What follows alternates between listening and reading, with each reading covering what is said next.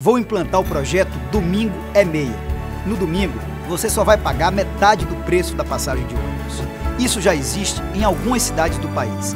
E eu vou trazer aqui para Salvador. Eu tô com Neto pra defender Salvador.